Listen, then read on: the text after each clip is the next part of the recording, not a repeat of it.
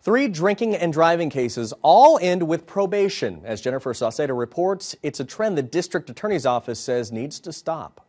Drink and drive and get your little hand slapped. Drink, drive, get probation. And that's pretty accurate and it's very sad. They're mothers of drunk driving victims who not only have heartache in common, they also heard the same verdict in their search for justice probation. That's the wrong message that we want to send, and it's very disappointing for us. In one month, three defendants charged with drinking and driving cases have been given probation by a jury. It sends a message to those who are, who are accused of driving while intoxicated or killing someone on the roadway while they're drunk to go ahead and roll the dice, and maybe the jury will give them probation when we as a state are offering them prison. Since January, Bexar County's DWI task force has tried a handful of intoxication cases. Only two of them have resulted in prison time. We're getting convictions. It's, it's the punishment now that we have to send the message with. And when we have outcomes like this, our families feel like they just got punched in the gut.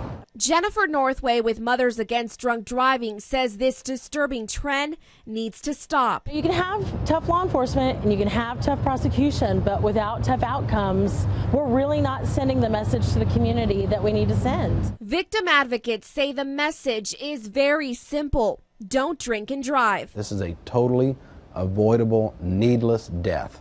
People can take a cab, you can get a ride home, you can designate a driver and you can save someone's life by just drinking responsibly. Jennifer Saucedo, Fox News at 9. The DA's office says when the cases go before a judge, prosecutors will push for the tough probation restrictions.